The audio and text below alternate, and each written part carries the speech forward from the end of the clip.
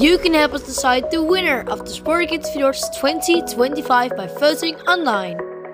No matter where in the world you are, from Wednesday the 1st of January, you can vote by at Sportcave 2025 on the official YouTube channel of Sportcave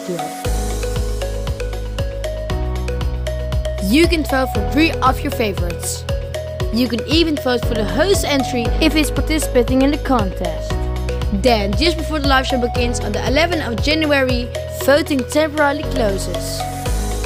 Later in the show, it will reopen for approximately 10 minutes after all entries have performed. Your vote was sent to the voting team who will turn those votes into points.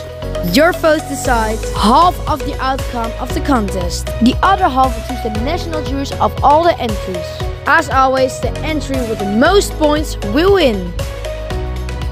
So, help us decide the winner of the Sport Get Awards 2025.